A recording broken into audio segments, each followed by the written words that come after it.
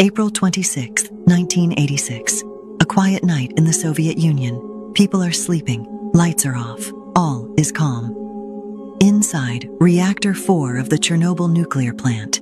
A deadly mistake is about to erase an entire town. Engineers begin an experiment. They wanted to improve safety.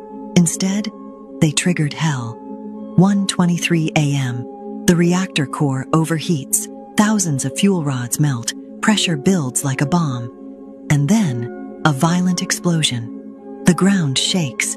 Concrete shatters. The roof flies into the air.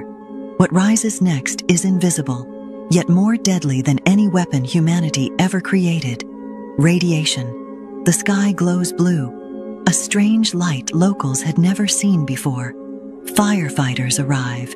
They have no idea what they are walking into. They think it's just a normal fire. They climb the roof. They touch the glowing graphite with their bare hands. Some die within hours. Within 48 hours, birds fall dead from the sky. Trees turn red like blood. The river becomes poison. The Soviet government tries to hide everything. They don't warn anyone. Children play outside. People eat fresh vegetables from their gardens. Parents breathe radioactive air without knowing. It takes Sweden, another country, to detect the radiation and expose the truth. Finally, 350,000 civilians are forced to run from their own homes.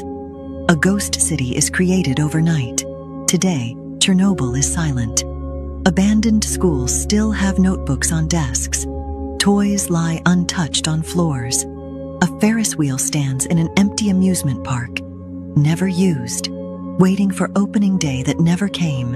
And even now, 40 years later, the ground is still dangerous. Chernobyl is a warning from the past. One mistake can destroy the future.